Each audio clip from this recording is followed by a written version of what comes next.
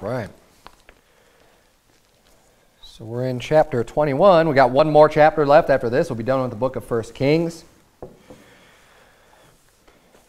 And you notice at the end of this chapter, we another um, story about Elijah at the end here. So let's um, let's dig into this. We're going to see how wicked Ahab is as a king in this chapter. It's a real simple, pretty straightforward uh, passage, just an overview. Obviously, we just read the entire thing where um, Ahab wants a vineyard, belongs unto another guy, it belongs unto Naboth, and he wants it, and he offers him money, he offers him another vineyard, you know, whatever you want, and Naboth doesn't want to get rid of it. So as a result, Naboth ends up just getting killed and murdered just so that Ahab can get that vineyard. And we're going to get into Jezebel and how wicked she was, a wicked woman, and um, and a little bit more into the story. But basically, that's what happened. So Naboth goes, they have, they have, or they have Naboth get killed.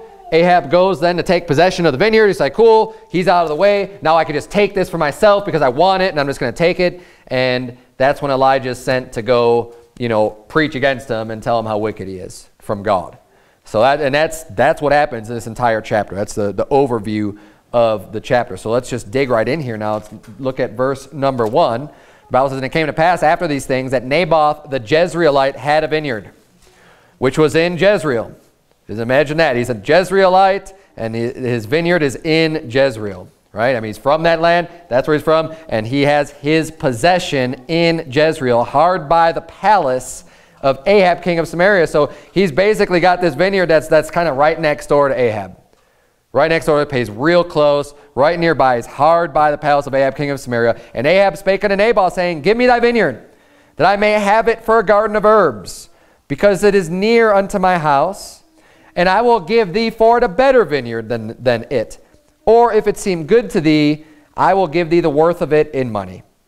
And Naboth said to Ahab, The Lord forbid it me, that I should give the inheritance of my fathers unto thee. Now keep your finger here in 1 Kings 21 and turn, if you would, to Numbers 36. Because Naboth brings up a point here. He's basically saying, you know, Ahab is propositioning. I mean, you could say there's nothing wrong inherently with, with Ahab's proposition. He's not trying to steal it from him. He's trying to purchase from him. Saying, hey, look, I want this land. It's, it's convenient for me. It's a nice vineyard. It's real close to my place. You know, so sell it to me. You want another vineyard? If you want to have a vineyard, I'll give you another vineyard, you know, a real good one, comparable value, whatever, you know, we, let, uh, how are we going to make this work? Right? And Ahab doesn't care about the Lord. He's a wicked man. He serves Belial. But Naboth does care about the Lord.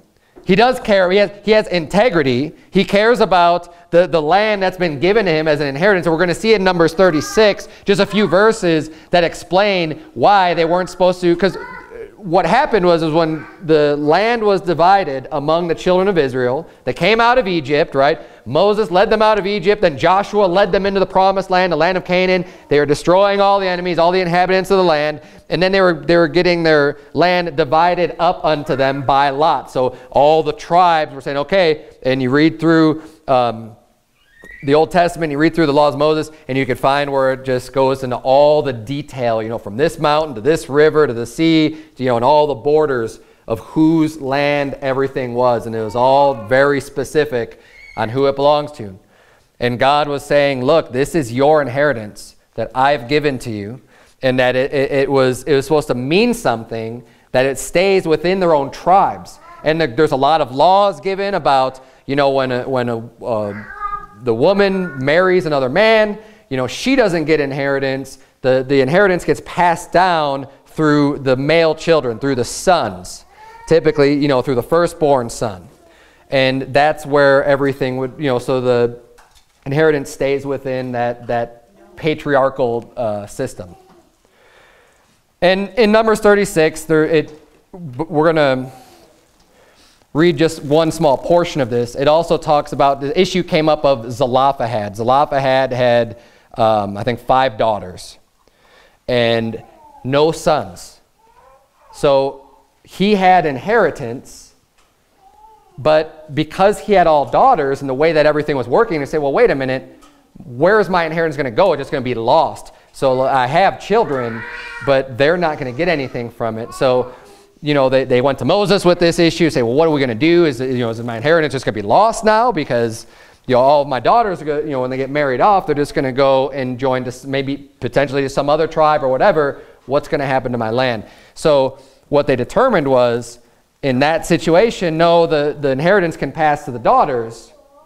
And then they say, well, what if they marry someone from another tribe? Then they're going to end up taking that land, you know, as the course of events go, when they, when they die or whatever, it's going to, you know, go to their children, their son in their tribe. And he said, no, and the way that they managed that was let them marry whoever they want, but they have to marry within that tribe. That way it stays within the tribe. And, and just the fact that all this is spelled out in the law is showing us that God felt like this was important.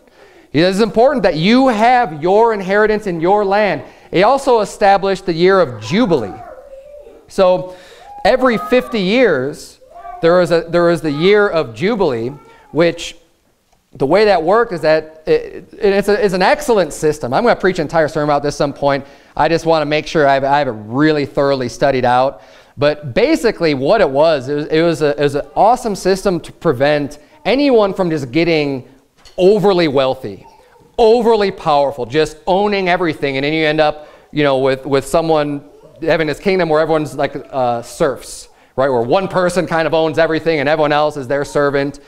And the way that, that he did this is, is okay, you can, you can buy other lands for a period of time. You can work the land. You can do things. You know, people, if they got into debt, if they had money issues, they could become bond servants to someone else. Say, okay, I need help. You know, can I just work for you? I'll be your servant. And that's all fine and good, but every 50 years, it's like a reset button was, was pushed, and they say, okay, once that Jubilee hits, you're no longer an indentured servant. Anyone that had these debts is forgiven them. Anyone who's, who's you know, kind of leased their land, it goes back to them. It goes, the inheritance goes back to that family, back to those people, back to their, the rightful owner. And that's the way that, that God worked everything. And, and you could still make, you know, money, you could be prosperous in everything that you did, but it made sure that nobody's just collecting all of this land and just owning everything. Because it all went back to the inheritance of, of whoever it belongs to. And you have, you know, the 12 tribes. So no one, you know, if anyone's getting powerful, even within a tribe, you have, you've got a lot of other balances, checks and balances just in general with the power structure in the nation. Very great design. Anyways, you're in Numbers 36. Let's look at this verse number 7 real quick because we're going to see why Naboth is so adamant about not giving in to Ahab here. Verse number 7 says, so shall not the inheritance of the children of Israel remove from tribe to tribe. For every one of the children of Israel shall keep himself to the inheritance of the tribe of his fathers. And every daughter that possesseth an inheritance in any tribe of the children of Israel shall be wife unto one of the family of the tribe of her father, that the children of Israel may enjoy every man the inheritance of his fathers. Neither shall the inheritance remove from one tribe to another tribe, but every one of the tribes of the children of Israel shall keep himself to his own inheritance. So this is why Naboth is saying, no, I don't want to give this to you. I'm not going to sell you this land. I'm going to keep this land because this inheritance was given to me. And you know, another thing, because the law did allow for them to sell their land for the time, this also shows me that they, prob they weren't observing the year of Jubilee at this time. We know they weren't observing the Sabbaths because the Bible says when they, you know, that's one of the reasons they were taken into captivity. They say, oh, for, you know, the, the length of time that they were taken in captivity for had to do directly with the Sabbaths that they weren't observing. Because they had every they had years of Sabbath, so every seven years or every six years they were able to, to, to work the land. And then the seventh year was the, a Sabbath of rest for the land, the land itself. So if you're growing crops, you're cultivating, you're doing everything, you're working your land, they said in the seventh year, you give that land rest. The same way that every six days you could work, and then the seventh day was a Sabbath of rest. That's what the children of Israel were supposed to be doing. And then after seven uh, years of seven, right, 49 years, then you had the year of Jubilee. So it's, it's this great system. But it wasn't being followed. So Naboth knew, he's like, well, I'm not even going to get this back in the year of Jubilee because I, don't, I personally don't think that they were observing that since they weren't even observing the, the Sabbath years to let the land rest. He's like, there's no way this is getting back to me. So there's no way I'm going to give this to you because this is the inheritance of my fathers. God forbid that I would get rid of this and, and have this land now go and be a part of another tribe. Naboth knew God's word and he had integrity. Look at how Ahab responds now in verse number 4. Because Ahab really wants it. Verse 4 says, uh, back in 1 Kings 21, of course. And Ahab came into his house heavy and displeased because of the word which Naboth the Jezreelite had spoken to him. For he had said, I will not give thee the inheritance of my fathers. And he laid him down upon his bed and turned away his face and would eat no bread. Now this, this always makes me kind of chuckle. I just think like, what a little spoiled brat Ahab was. I mean, that really is what he is. The, the description that we're given in the Bible is like a little child. Oh, I'm going to go and pout. I don't want to eat anything. Oh, I'm so sad. Oh, I didn't get my way. Spoiled little Ahab who gets everything that he wants. Someone actually told him no. And he's acting like a little child, a little baby. Men, you know, men don't pout. When something doesn't go your way, that is not behavior of, of, of a manly man. And we know Ahab was not a manly man. We know even when God said, you're going to win this victory, he's like, well, who's going to lead it? You are, Ahab. Come on, you're the king. Step it up. And, and you know, you got Elijah killing the, pre, the prophets of, of Belial, which was a righteous thing, but Ahab's just like letting him do it. You got Jezebel, his wife, you know, telling him what to do and killing the prophets of the Lord, and he's letting her do that. And he was such a weak individual that was just kind of like, whatever people are going to do, he was just going to let them do it. And then just sulk about it and pout about it. And, oh, I don't know, I'm not getting my way. Ahab was a wicked man, and he didn't have a backbone. That was his biggest problem is that he didn't have a backbone to just do what he was going to do. Right or wrong, I mean, just do what he was going to do. He was also very covetous. And this is a huge problem. The Bible says in Hebrews 13, turn if you would to 1 Corinthians chapter 5. Covetousness is a huge problem. I think it is one of the most underpreached uh, uh, sins in Christian churches by and large. And one of the biggest problems I think believers have is with covetousness. The Bible is very, very, very clear about how wicked of a sin covetousness is. And if you don't know what covetousness is, it's when you're looking on something else, if you're lusting after something else that doesn't belong to you, something that you can't have, that someone else has, and you want that, that is a sin. Do you hear me? That's a sin. So if you have no means of getting, and there, there's multiple ways of this. You know, one is being covetous of, say, someone else's wife or someone else's husband.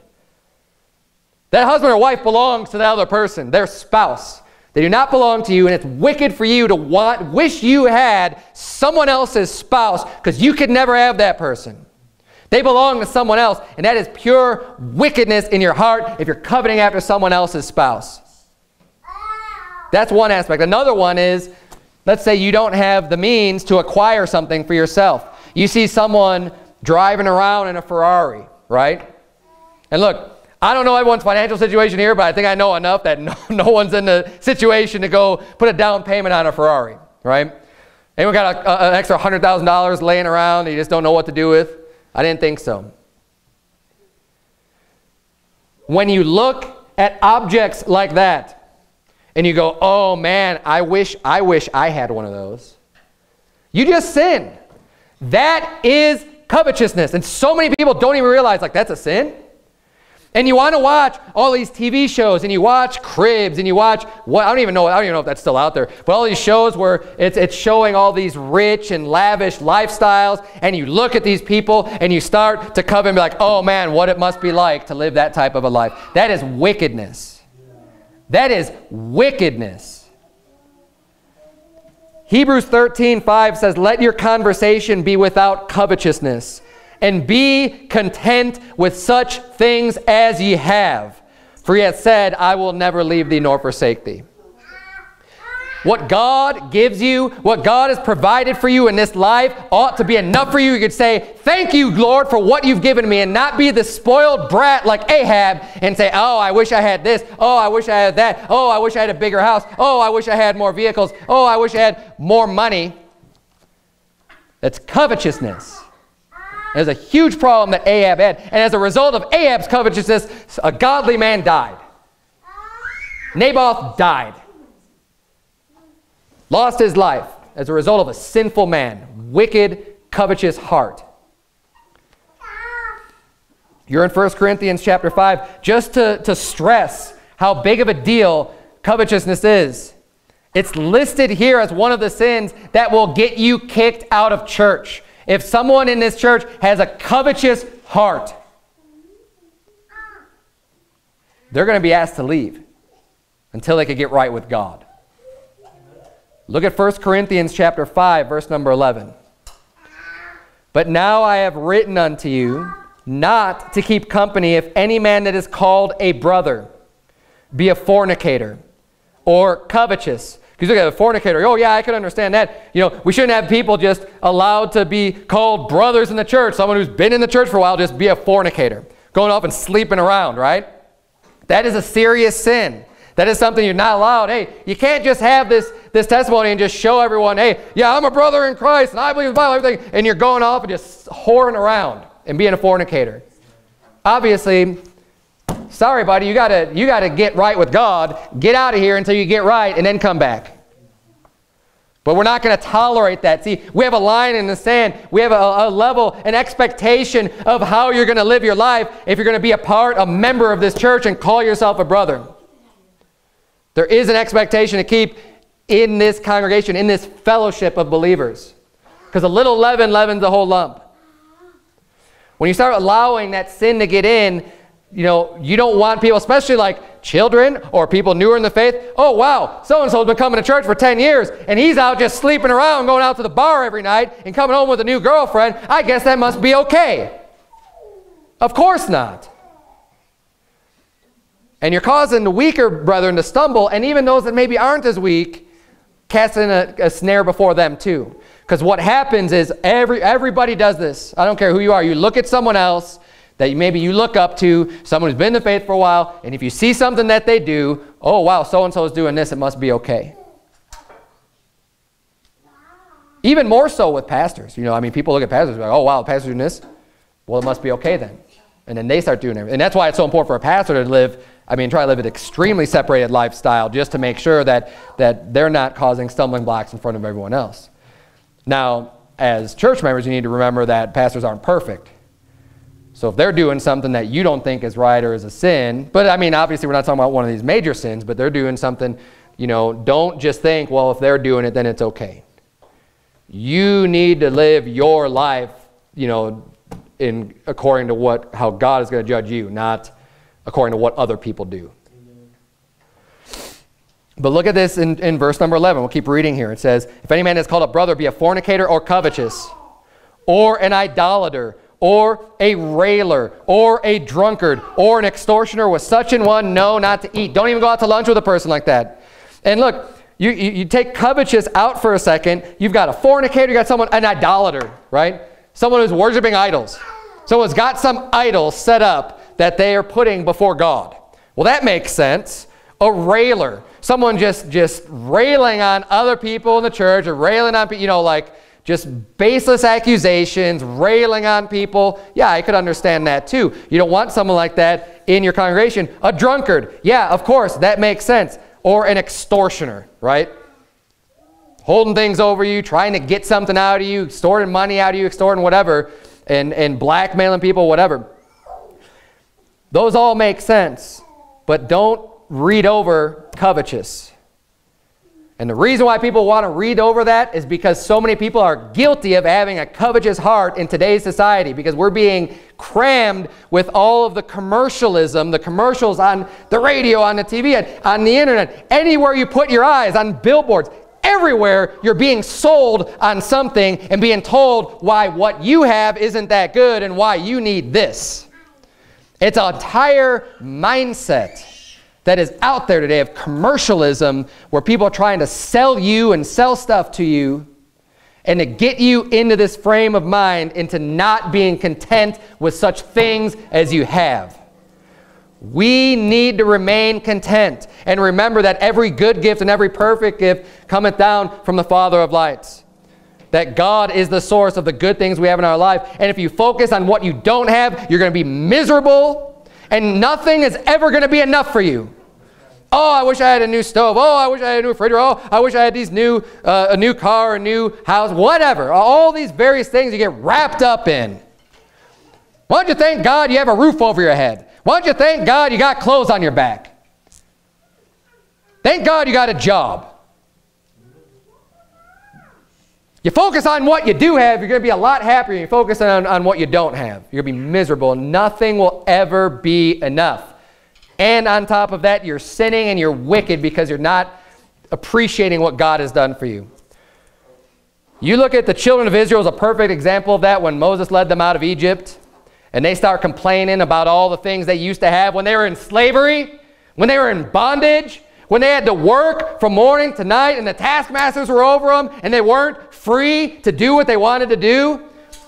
And in their wicked hearts, because they're out in the wilderness for a while and they're roughing it, and they don't have all of the things that they had, now they're going to start just, just saying things against God or saying things, um, murmuring, complaining. Oh man, it used to be so much better back when we were in bondage, back when I was a slave. It's like going to prison for a while, and then you get out and you don't have any money because you've been in prison for so long, it's a hard time finding a job. And you're just like, well, at least in prison I had, you know, three meals a day, it's like you were in a cage. Like, can you enjoy your freedom? And maybe you don't have as many meals now and you got to work harder and you got to, you know, can you at least thank God you're free? And, and the big things we seem to just gloss over for the little things that cause us a little bit of hardship. Oh, I don't have all the conveniences in the world. And, and, and it blows my mind, especially in today's day and age.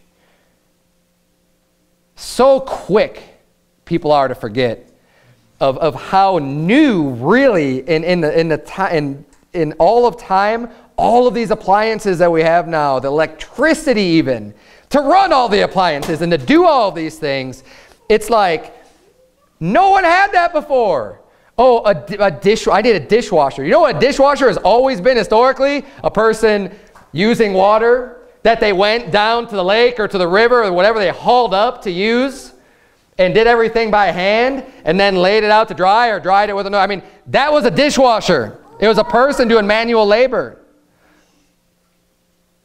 Clothing, everything, everything was done way more work and people now want to get all upset and complain because you don't have all the, the newest things and toys and gadgets and phones and whatever, whatever it is. It's ridiculous. I bet God's up in heaven going like, what a bunch of Ahab, you spoiled little brats. I bless you with all this stuff, and then when you don't have even more, you're going to start complaining about it. Be thankful for what you have. Praise God for it. The Bible says that we aren't even supposed to eat with someone who has a covetous heart. Now, look, we may all be guilty of, of, of one, you know, something from time to time. You may catch yourself in a moment. This is talking about someone who's just, you know, filled with covetousness. Look at verse number 12. It says, For what have I to do to judge them also that are without? Do not ye judge them that are within? Basically saying, yes, we are supposed to judge within the church when people are involved in these types of serious sins to judge and not to eat with them. Verse 13, but them that are without God judgeth. Therefore, put away from among yourselves that wicked person. Covetous is in the list. The covetous person is a wicked person according to the Bible. And yes, you could be a saved person and be a wicked person. Because this is talking about people in the church. You can be a drunkard and be saved. You could be a railer and be saved. You could be an extortioner, believe it or not, and be saved. You could be, you know, any of these things and be saved. You want, would you want God referring to you as some wicked person? No, I wouldn't. Go back, if you would, to 1 Kings chapter 21. We see Ahab's problem being just being covetous and not being content with what I mean. He's the king. It's, he's got a palace, right? He, he, and he wants this vineyard. Oh, it's convenient for me because it's right next to my palace. Think about how ridiculous that is. Like, there's so many people in Israel, I'm sure, that weren't living in palaces and that probably had to sell their lands because they were in such hard times, you know, they couldn't do anything else. And he's like, oh, I don't want to eat anything. I'm so upset. Naboth won't give me his vineyard. I offered to pay him for it, but he won't give it to me because of God, because of the Lord. That's the attitude that, that Ahab had. Now, what we're going to find, though, also in this chapter is that Ahab was extremely wicked. The Bible says he was more wicked than, um, than Jeroboam and then Baasha. But I don't think that he would have done nearly as much wickedness as he did if he had a spine and didn't let his wife influence him on everything that he did. Because she was the one that provoked him to. And we're going to read that in a little bit. The Bible actually says that she caused him to get in to so much sin. So, you know, another lesson is get a spine, men. Don't act like a spoiled brat. And, and don't let anybody just rule over you as far as telling you what you're going to do. You need to determine what's right and wrong. And you need to stand up for what's right and do what's right. Amen. Verse number five. See, Jezebel hears about him, his, his little tantrum here. But Jezebel, his wife, came to him and said unto him, Why is thy spirit so sad that thou eatest no bread? And he said unto her, Because I spake unto Naboth the Jezreelite, and said unto him, Give me thy vineyard for money, or else, if it please thee, I will give thee another vineyard for it. And he answered, I will not give thee my vineyard. And Jezebel his wife said unto him, Dost thou now govern the kingdom of Israel? Arise and eat bread, and let thine heart be merry. I will give thee the vineyard of Naboth the Jezreelite.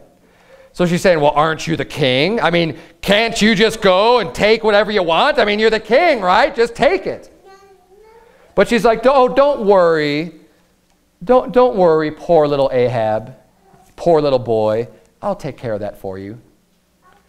And, and keep, uh, pay attention to these words. It's going to be important a little bit. She said, She told him, I will give thee the vineyard. Verse number 18. So she wrote letters in Ahab's name and sealed them with his seal and sent the letters unto the elders and to the nobles that were in his city dwelling with Naboth. And she wrote in the letters, saying, Proclaim a fast, and set Naboth on high among the people, and set two men, sons of Belial, before him to, to bear witness against him, saying, Thou didst blaspheme God and the king, and then carry him out and stone him that he may die.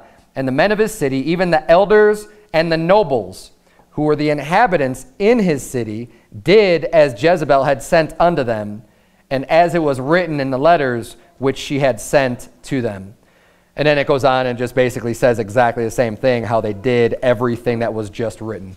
So her plan is, okay, I'll get this for you. She writes letters. She writes them to the governors and the people who are in charge of the land, some more wicked people that see her entire wicked plan of saying, hey, we're going to frame this guy, Naboth, a godly man. We're going to frame him. I want you to set him up. We're going to proclaim a fast, and we're going to set this guy up. We're going to exalt him, and then you're going to come out with two guys that are going to bear false witness against him, lie about him, and get him put to death.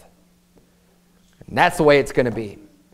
And Jezebel sends out those letters, and these, some more, probably some spineless leaders, or just extremely wicked, just as wicked as Jezebel leaders, or probably both, go along with it and say, oh, okay, Jezebel wants this done, so I guess we'll get it done. They're probably scared of her.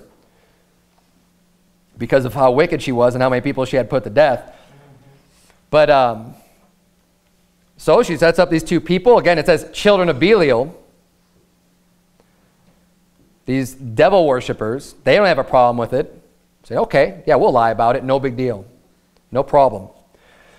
And they lift Naboth up, the presence of the people. They say Naboth did blaspheme. You know, these two liars, these two witnesses. And then they carry him out and they kill him. And they stone him. Jump down here to uh, verse number 14. The Bible says, Then they sent to Jezebel, saying, Naboth is stoned and is dead. And it came to pass, when Jezebel heard that Naboth was stoned and was dead, that Jezebel said to Ahab, Arise, take possession of the vineyard of Naboth the Jezreelite, which he refused to give thee for money. For Naboth is not alive, but dead. And it came to pass when Ahab heard that Naboth was dead, that Ahab rose up to go down to the vineyard of Naboth the Jezreelite to take possession of it. What a wicked man. Yeah. Oh, he's dead? Oh, okay, I guess I'll just go and take it.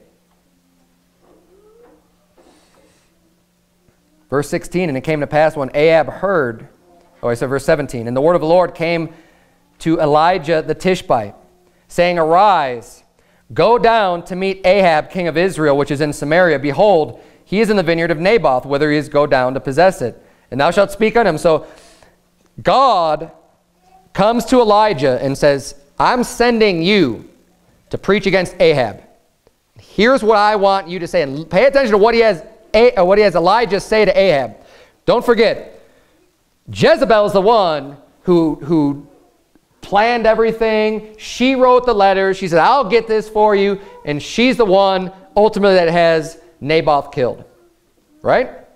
Very clear. Verse number 19. And thou shalt speak unto him, saying, Thus saith the Lord, Hast thou killed and also taken possession? And thou shalt speak unto him, saying, Thus saith the Lord, In the place where dogs lick the blood of Naboth, shall dogs lick thy blood, even nine. Who does God hold responsible for the killing of Naboth? Ahab. Did Ahab write the letters? Did Ahab concoct the plan for, for Naboth to be set on high and for him to be killed? No. But who did God hold responsible? Ahab. Very important to notice that. God holds Ahab responsible, even though he didn't do any of that stuff himself. And this concept of guilt is found elsewhere in the Bible. Who killed Uriah the Hittite? Well, he was killed in battle, right? The enemy killed Uriah the Hittite. Well, Joab's the one that put him in the, in the, the hottest part of the battle, right? You know who God holds responsible? David. In 2 Samuel 12, 9, the Bible says, Wherefore hast thou despised the commandment of the Lord to do evil in his sight? Thou hast killed Uriah the Hittite with the sword, and hast taken his wife to be thy wife, and hast slain him with the sword of the children of Ammon. Children of Ammon were the ones that killed Uriah, but David was the one responsible for the children of Ammon killing him. And God is coming down on David. God comes down on Ahab. Even Jesus Christ himself. Who killed Jesus? And a lot of people have problems with this today. I don't know why. It's because they're Jew lovers and worshipers of uh, a, a Christ-rejecting nation of people that will have nothing to do with Jesus Christ, but they just love him so much for who knows why, because they've been lied to and deceived by the Scofield Reference Bible and whoever else is just teaching damnable doctrines. The Bible itself says in Acts chapter 3, I'm going to read this in context for you. Acts chapter 3 and verse number 12, the Bible reads, And when Peter saw it, he answered unto the people, Ye men of Israel. Who's he addressing? The men of Israel, the children of Israel. Is he, arresting, is he addressing the Romans? Is he addressing the government? Is he addressing Caesar or, or any of those people, the soldiers? No, ye men of Israel. Why marvel ye at this, or why look ye so earnestly on us, as though by our own power or holiness we made this man to walk? The God of Abraham and of Isaac and of Jacob, the God of our fathers, hath glorified his son Jesus, whom ye delivered up, and denied him in the presence of Pilate when he was determined to let him go. But ye denied the Holy One. Ye men of Israel, ye denied the Holy One and the just, and desired a murderer to be granted unto you, and killed the Prince of Life. Who killed the Prince of Life? Ye men of Israel. The Jews. There's other places that says it too, but in Acts chapter 3, because what people say, oh no, no, no, it wasn't them. It was just, it was just the Pharisees. It was just the rulers. Well, we'll keep reading.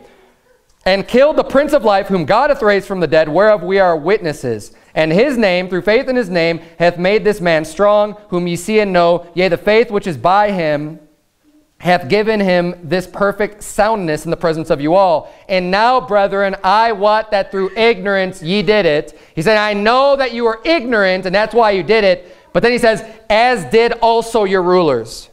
So is he just talking about the rulers? Does blame only on the rulers? Is it only on the Pharisees? No, it's on the men of Israel. It's on all of them as a group, as a whole, because they all said, crucify him, crucify him. His blood be on us and on our children. He came unto his own, his own received him not. They are responsible for the death of Jesus Christ. You say, oh, so what do you want to do? Go out and kill all the Jews today? No. No, but why would you deny the, I mean, the, the people that did that aren't even alive anymore anyways. We're not just carrying forward this generational thing of just saying, well, you're, you know, just like they want to do with slavery and everything else. Oh, you're responsible because people hundreds of years ago did something. Now you have to pay for it. That's ridiculous. But the Bible is very clear about who gets the responsibility. And when you are in a position of authority, take it seriously. Ahab was the king. When Ahab has letters sent in his name with his stamp, with his stamp of approval on it, guess who's responsible for that? Ahab. It didn't matter that his wife wrote the letters. His stamp went on that. He's responsible for that. When you have a position of authority, no matter who you are, you need to take it seriously. Ahab was responsible for the kingdom and the orders made in his name. You may be in a position at work where you have authority. Look, when you have an employee, if you're an employer and you have other people doing things, you're a manager, you got people working for you, and one of your employees does something, look, at, you're going to have a level of responsibility for that. Because you're the one in charge of making sure that your employees are doing what they're supposed to be doing. Or in the household, fathers, you've been given authority and responsibility if people in your family are doing things that you don't approve of and you don't like and going up, you know, when they're in your household, you know who's responsible for that? You are. Don't pass the buck off to someone else. You can't. The ultimate responsibility lies with you. Now, mothers, you have, a, you have your own responsibility too. You've got a responsibility with raising your children, but at the end of the day, the buck stops at the, at the, the head of the household, the one in charge ultimately. And that's the man of the house. And that's why it's so important that you need to make sure that you are running your house the way that you see fit. And you do what needs to be done. And don't let your wife, don't let your children, don't let anyone else walk all over you and tell you the way things are going to be. You are the one that's responsible. Ahab wasn't responsible in his house. He was held responsible. But he was letting his wife do all the decision making. And his wife was wicked. You don't have to have a wicked wife to, to still have problems in your household because you're not making decisions. If God put you in charge, then you take that responsibility and you do it. There's a reason why you're put in charge. Let's go back to 1 Kings chapter 21. We're pick up here in verse number 20, where Ahab, where um, excuse me, Elijah confronts Ahab. Verse number 20, And Ahab said to Elijah, Hast thou found me, O mine enemy? And he answered, I have found thee, because thou hast sold thyself to work evil in the sight of the Lord. Ahab sold himself to do evil. He's just, he doesn't care, right? He wanted his vineyard, so he got what he wanted, right? He didn't care that Jezebel is doing whatever she wants in his name and getting people killed. He sold himself to do evil just so that he can fulfill his covetousness on the field that he wanted. And that's kind of the way that he lived his life. Look at verse number 21. Behold, I will bring evil upon thee and will take away thy posterity, and will cut off from Ahab him that pisseth against the wall, and him that is shut up and left in Israel.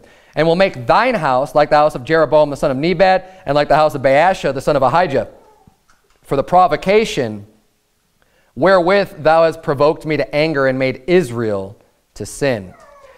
And of Jezebel also spake the Lord, saying, The dog shall eat Jezebel by the wall of Jezreel. So Jezebel isn't free from her own responsibility either. God sees all of her wickedness as well. He's saying she's going to suffer just like you.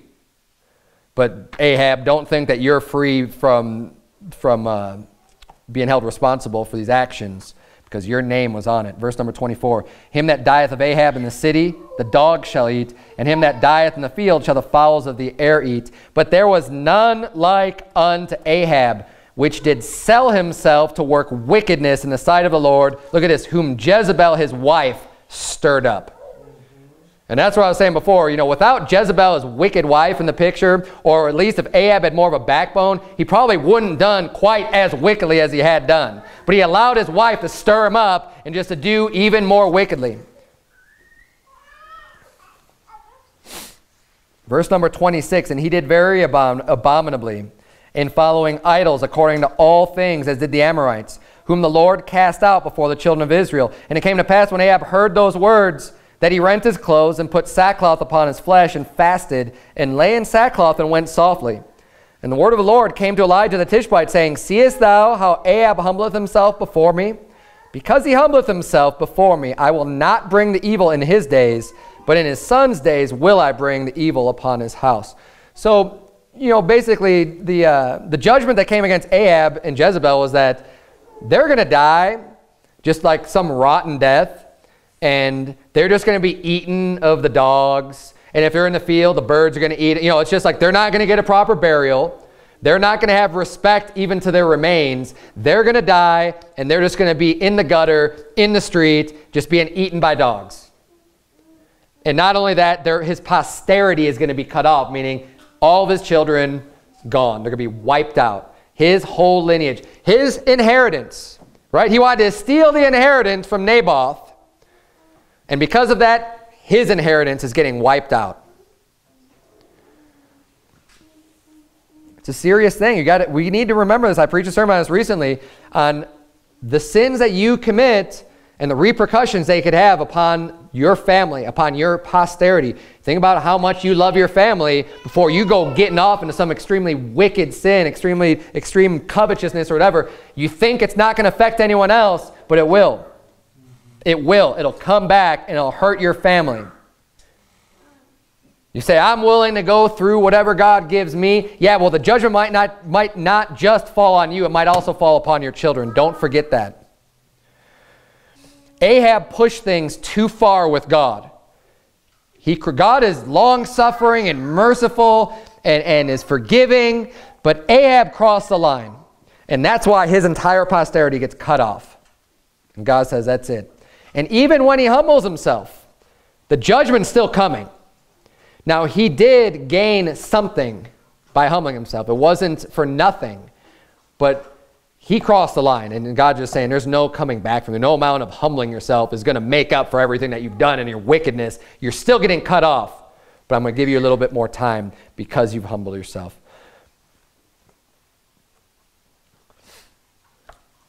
Last point we finished the chapter already. Notice God sent Elijah to Ahab. Ahab was a wicked king. But God had that message specifically for Ahab. Now, I don't think that Ahab was saved. I think he, you know, he worshiped Belial and stuff, but he could have been. It's possible, right? I mean, you can't, you know, without knowing his heart, it could have been. I haven't seen anything that would just say, no, he is just a total reprobate. I mean, he could have, he could have, been, he could have been a believer.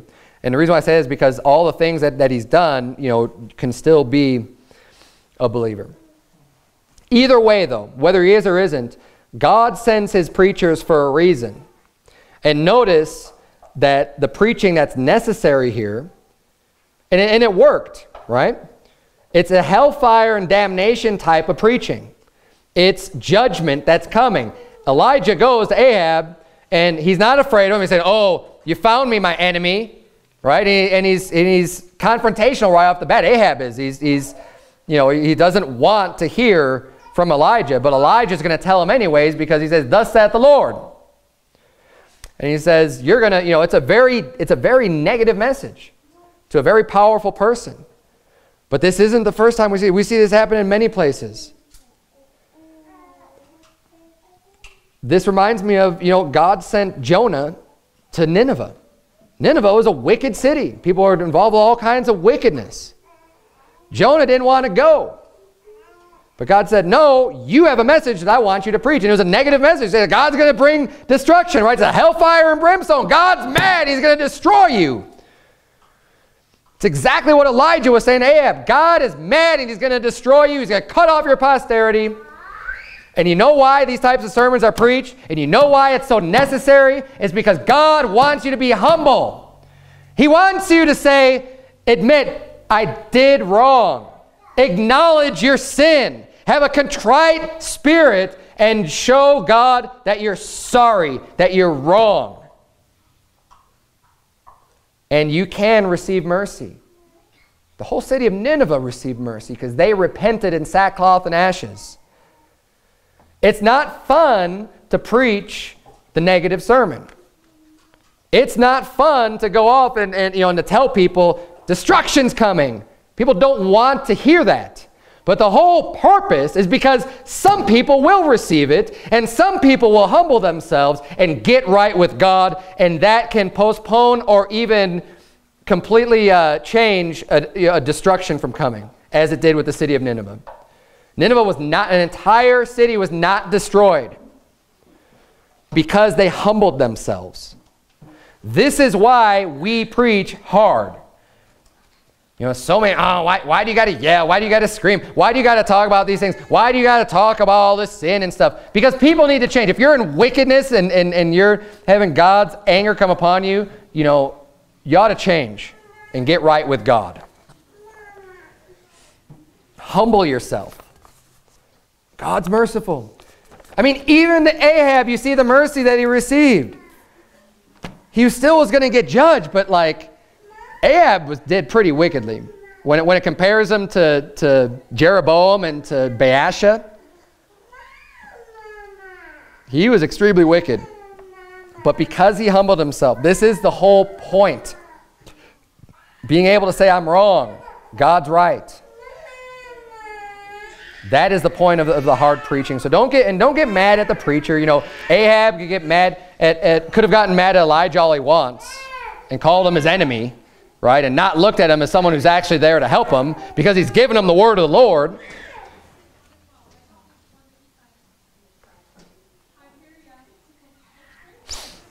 Don't get mad at the messenger. Don't get mad at God. Just receive what, what God has for us. And you know, sometimes it's a, it's, a, it's a swift rebuke that we need to get in order to get back right with God. Let's bow our heads and have a word of prayer. Dear Heavenly Father, Lord, we thank you so much for, um, for your word. God, we thank you for um, the instruction that we receive from your word, dear God. I pray that you would please help us all to, to remain humble. Help us not to be covetous, dear Lord, and to be desiring things that we can't have or shouldn't have, or um, not being and not being content with the things that we do have, dear Lord. Help us to maintain a, a right attitude. And um, I pray that you please help the men to have a, a, backbone and a spine and not to let other people just dictate everything that they're going to do, but that they could determine what's right from your word, dear Lord, and to stand fast and to not, uh, not be moved or shaken from doing what's right, dear Lord. We ask for your blessing upon our church. In Jesus' name we pray. Amen.